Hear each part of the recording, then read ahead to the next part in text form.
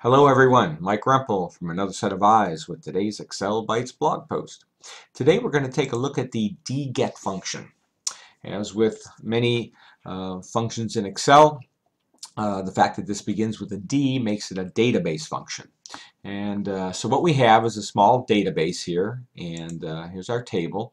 And we have our criteria set up this way, and notice we have the headings that have to exactly match the headings in our database, and then the criteria listed below. I set them up with data validation just to make them easy to choose. So if we take a look at what the dget function is, it says it extracts from a database a single record. Notice the fact that it's a single record that matches the conditions you specify. So if I hit tab, it wants us to define our database, which we can do by highlighting that.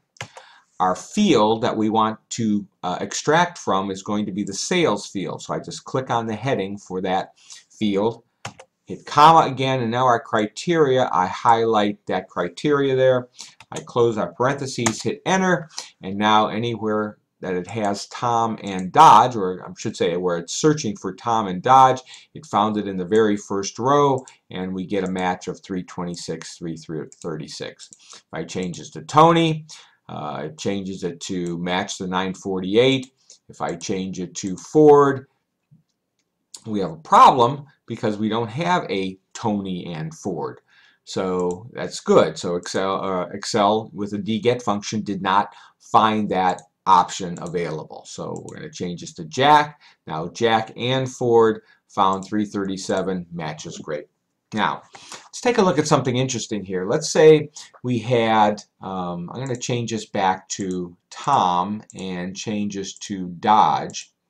And again, it found that first row there, 326, 336. Let's say down here we had Tommy, and this was also Dodge notice we get a number error. And that is because the dget function found the name Tom within the name Tommy. So it uh, extracted and it found two uh, matches for the criteria that we set up. And because dget will only find a single result, it gives a number error. So you have to be careful if you're using this in a database that has very similar or potentially matching criteria, it's not going to work. If we change this to say T-H-O-M-M-Y, no problem. We're back to just having one Tom and one Dodge, and now the dget function works well. And there you have it. That's how the dget function works in Excel. Hope you like it. Thanks for stopping by. If you'd like to see more, please, please feel free to stop by my blog, excel-bytes.com, and I hope you subscribe. Happy excelling.